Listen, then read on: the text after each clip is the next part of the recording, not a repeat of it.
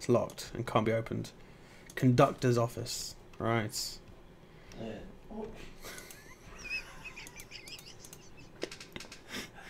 This train's this chains implies called. He's holding something. Alright, cool.